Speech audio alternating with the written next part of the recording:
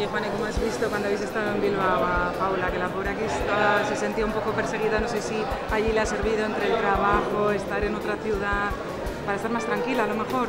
Yo creo que ha sido para todos muy bueno el hecho de poder rodar fuera, siempre está muy bien, porque de alguna manera estás mucho más concentrado.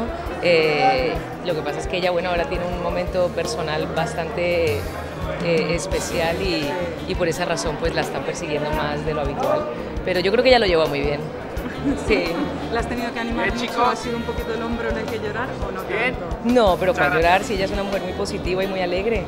Eh, para nada. Yo creo que nos hemos acompañado bien las dos, estamos muy contentas de volver a trabajar juntas después de Velvet.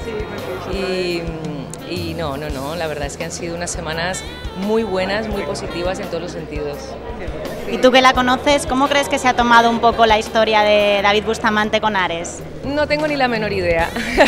Eso te toca preguntárselo a ella.